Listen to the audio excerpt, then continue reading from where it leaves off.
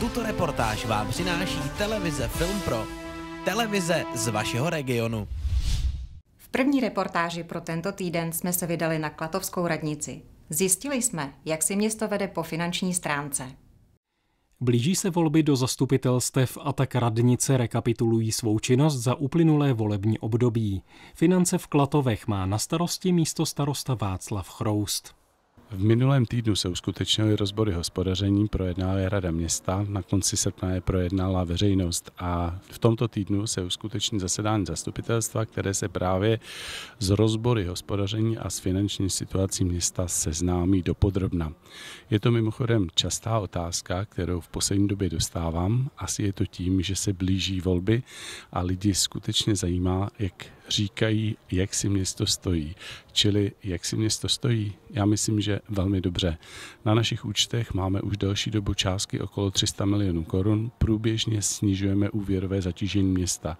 Jestliže v koncem roku 2010, kdy dosáhlo nejvyšší úrovně, to je přibližně 203 milionů korun, jsme měli na svých účtech 80 milionů korun, nyní koncem roku budou úvěry sníženy na částku 67 milionů korun, bude tedy splaceno za 8 let více než 130 milionů korun a předpokládám, že na našich účtech se bude pohybovat částka mezi 260 až 300 miliony korun. Vyhodnotíme však i výsledky hospodaření jednotlivých organizací našeho města, ať už škol, mateřských škol, technických služeb, Městského ústavu sociálních služeb, Městské knihovny, Městského kulturního střediska.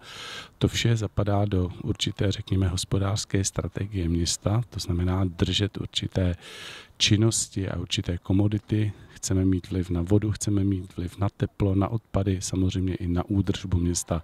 Proto i nadále hodláme držet tyto společnosti a jejich prostřednictvím zajišťovat péči o naše město. Na zastupitelstvu se budou probírat i další záležitosti z finanční čísel například to, jak probíhají opravy komunikací, jak probíhají práce v Merkandinových sadech, no a budou řešit i jednu velmi zajímavou a netypickou otázku, totiž to, že do zastupitelstva jde návrh na udělení čestného občanství panu Jiřímu Suchému, narozenému 1. října 1900 31, to znamená, že mu záhy bude 87 let, který má své kořeny tady v Klatovech a jak sám říká, Klatovy jsou alfou a omegou jeho života a jsou pevně v jeho srdci.